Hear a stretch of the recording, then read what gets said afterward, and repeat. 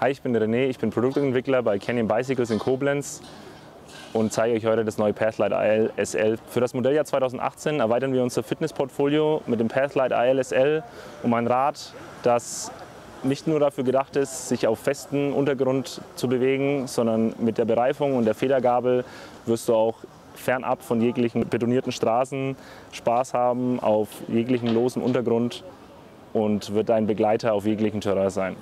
Hervorzuheben ist der leichte Aluminiumrahmen, der sich bei uns im Grand Canyon AL SLX schon bewährt hat. Wir haben konifizierte Rohre, wir haben eine Aufnahme für Gepäckträger, wir haben eine Aufnahme für Schutzbleche, wir haben an der Front eine 75 mm SR Santur Gabel, die dir möglichst besten Komfort auf jeglichen Untergrund bietet. Für guten Grip sorgt ein 40 mm Maxxis Rambler Reifen vorne sowie hinten. Und die VCLS-Sattelstütze von Canyon wird dir bestmöglichsten Komfort auf jeglichem Terrain bieten. Das Pathlite ALSL wird es in vier Preispunkten geben, von 999 Euro bis 1599 Euro.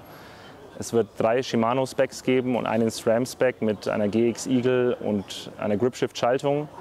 Das Bike geht während der Eurobike online und ist für dich spätestens im Herbst verfügbar.